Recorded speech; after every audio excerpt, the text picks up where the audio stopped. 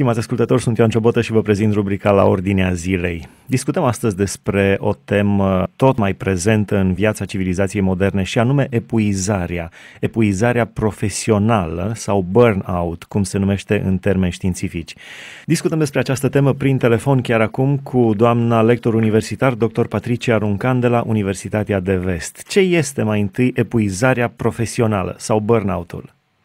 Literatura de specialitate vorbește despre mm, această stare de epuizare, despre burnout, chiar din anul 1974 și îl descrie ca fiind această stare de epuizare fizică, emoțională și mentală care apare în urma stresului, a încărcării emoționale cronice, este starea care este caracterizată de sentimentul lipsei de speranță, a incompetenței, a pierderii scopurilor și idealurilor.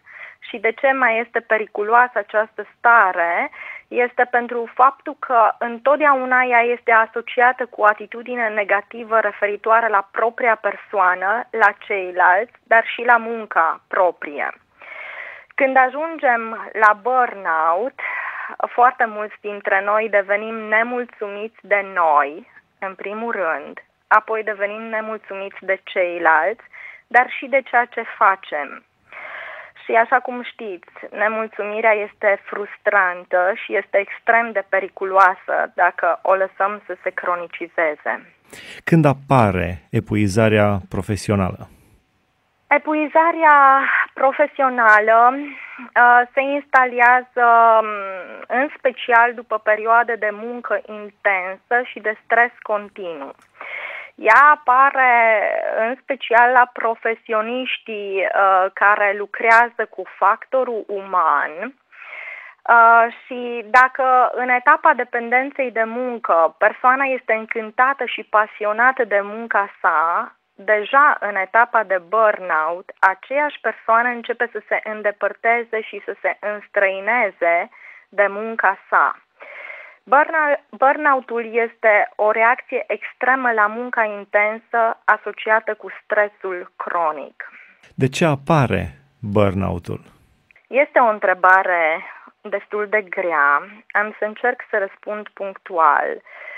Din păcate, dacă suntem sinceri cu noi, ne dăm seama că tot mai mulți intrăm în acel carusel al realizărilor excesive, al slujirii epuizante, al dorinței de afirmare, chiar al perfecționismului dus in extremis. Nevoia de importanță, de semnificație, este extrem de importantă pentru fiecare persoană, indiferent de domeniu în care acea persoană lucrează. Cineva spunea că toți oamenii își doresc nu să se folosească de ceva, ci să fie ei ceva.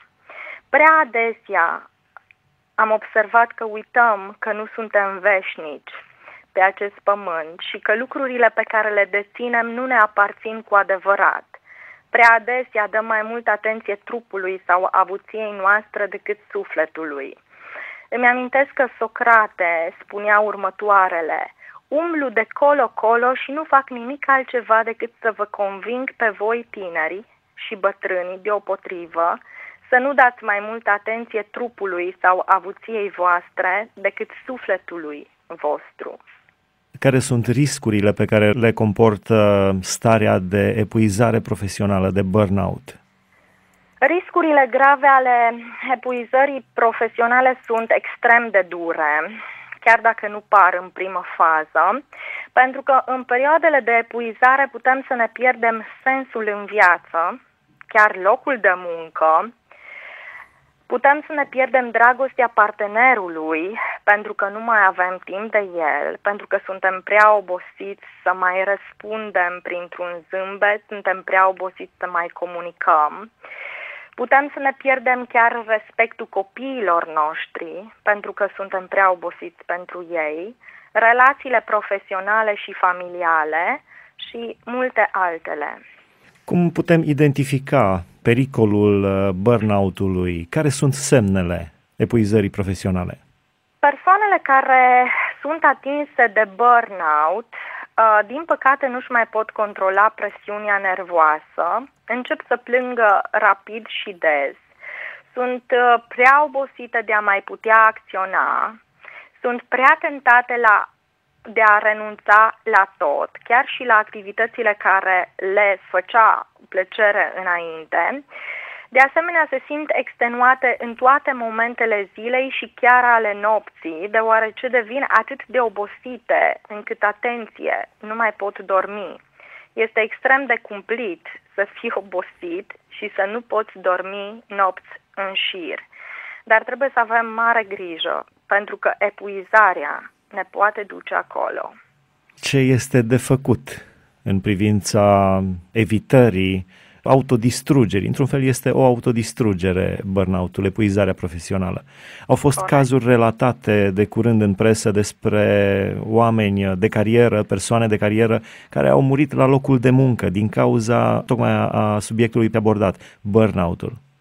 Da, um, de ce? Pentru că sunt uh, unele persoane predispuse la burnout. Uh, sunt predispuse la burnout, în general, persoanele care sunt perfecționiste, care tot timpul uh, trebuie să-și dovedească lor și celorlalți ceva care nu-și pun timp suficient pentru odihnă, care prea adesea sar peste mesele principale ale zilei, tocmai datorită faptului că sunt implicate în tot felul de uh, activități profesionale uh, care au un uh, deadline urgent. Uh, um, și care nu-și mai fac timp pentru activitățile simple, recreative, în aer, în aer liber, ci se concentrează doar pe muncă.